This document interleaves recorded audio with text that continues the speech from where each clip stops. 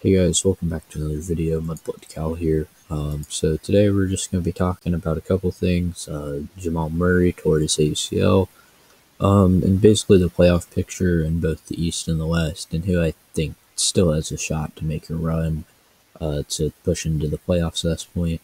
Uh, so let's get started. Leave like and subscribe. You can follow me on Twitter at MudbloodCal.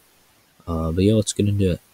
Um, so earlier this morning, about an hour or so ago, uh, news broke Jamal Murray has torn his ACL. He suffered the injury last night against the Warriors in a 105 107 loss. Um, Murray's averaging 21 5 and 4 on the season right now. Um, this is going to be a massive loss for the Nuggets, who are currently sitting at around fourth in the East, just a game ahead of the Warriors um, three games back of the Clippers, and six games back of first place. Um, but this is a massive loss for the Nuggets. This is their second best player, um, and I think it mostly just straight up removes them from title contention. I can't see a Nuggets team uh, winning the title without a red hot Jamal Murray. So I don't know. Um, I'd assume they would start Monte Morris at point guard now. That seems like it'd be the move. Um, so we'll, I guess, see how that goes. Um, Morris is averaging 10 points on 26 minutes. So, yeah, I guess we'll just have to see how that goes. So, uh, the Nuggets schedule for the rest of the season isn't it, it's um, we'll, we'll see. I'm just gonna read it off. We'll see if we think they're gonna fall out of the playoffs or not. Because I don't think they will. Heat, Rockets, Grizzlies, Trailblazers, Warriors, Rockets, Grizzlies, Pelicans, Raptors, Clippers, Lakers, Knicks, Jazz, Nets, Hornets, Timberwolves, and Pistons. Um, so it's pretty light, minus the one, two, three, four, five game stretch in between May 1st and May 8th when they play. Um,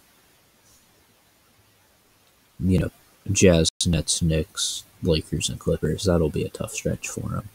Um, but all in all, I think they'll be able to hang in the playoffs. They'll probably finish with about 40 wins. Will they stay at the.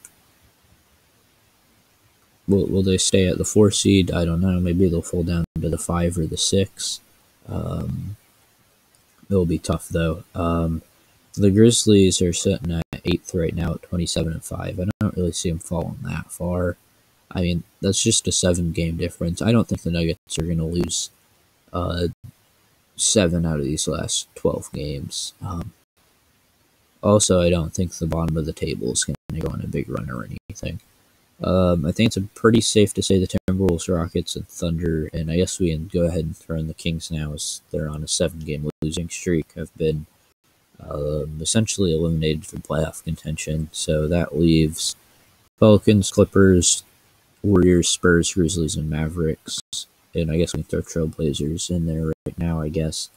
Um, fighting it out for uh, play in tournament spots or trying to break out of the play in tournament spots and not fall into that uh, for the Trailblazers. Um, Pelicans are on a bit of a winning streak. Pelicans kind of remind me of the Texans in the NFL last season. Um, I guess except the Pelicans will probably finish a little like a couple games back of 500. The Texans went three and 13, but it took me till probably about week 10 or 12 around then to be like, oh, the Texans aren't gonna make the playoffs.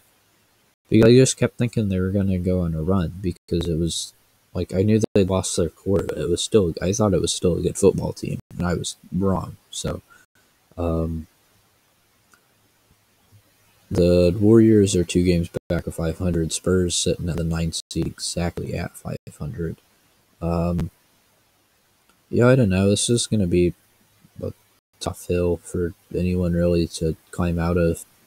Um, for I guess the Pelicans, I, I know the Warriors can. Warriors Mavericks playing game would be pretty good.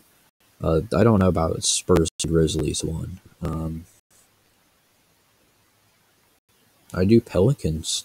I could do like Pelicans Spurs or Pelicans Grizzlies. I don't. I don't really want to deal with both those teams. Um, So maybe we could get some fun playing games. We'll see. If we look at the East, though, um, this is only showing. I know I'm not really talking about the. We're just talking playoff picture right now. Um, if we look at the East, you know, top three teams 76ers, Nets, Bucks, and then you've got uh, 9 through 4, just all within four or so games of each other. Um, yeah, the Pacers two games back 500 and everyone else. Um, I think it's safe to probably eliminate Pistons, uh, Magic definitely, the Cavaliers, the Wizards, the Raptors, the Bulls. Uh, maybe not the Bulls. The Bulls, I can still see them making a run with uh, this. I don't know who all do the Bulls have to play. If the Bulls have a really easy schedule, they can make the playoffs, but um, it's gonna be tough for them. But they'll probably end up with a play-in game. Let's see who, who all they got. Uh, Magic, Grizzlies, Cavaliers, Celtics, Cavaliers, Hornets, Heat, Heat, Knicks, Bucks, Hawks. Sounds pretty easy so far. Uh, 76ers, Hornets, Celtics, Pistons, Nets, Rap. Yeah, this is a pretty easy schedule. If they just beat the teams they should beat, um, I think the Bulls might be able to at least find themselves in a like firmly in a playoffs, a play-in tournament game. Uh, but then there's also the Raptors just right behind them. Uh, let me check the Raptors schedule real fast, see if they're um, in a spot where they can do anything. Let's look. I don't think they are, honestly. Hawks, Spurs, Magic, Thunder, Nets, Knicks, Cavaliers, Nets, Nuggets, Jazz, Lakers, Clippers, and was yeah, this is. Yep, Raptors are screwed. Uh, so I think it's probably safe to eliminate them from playoff contention. Uh, so that just leaves the 10 teams who will probably be uh, the playing teams and Bulls, Pacers, Knicks, Celtics, Hornets, Heat, Hawks, Bucks, Nets, and 76ers. So I think that's probably, I think we've just about finalized our, maybe not seeding wise, but the teams that it'll be uh, from the East. But of course, someone could always just lose 10 straight games. Um, if it's anyone, it'll probably be the Hornets, but you never know. Um, but yeah, um, I guess possible play-in games. We could have Bulls, Celtics. I don't know how I feel about that. Pacers, Knicks would be. I don't know. These aren't like massive headline games. Um, I don't know. Maybe someone will fall down to the eight seed. I mean, there's all these these five or so teams close together. Uh, so we'll see.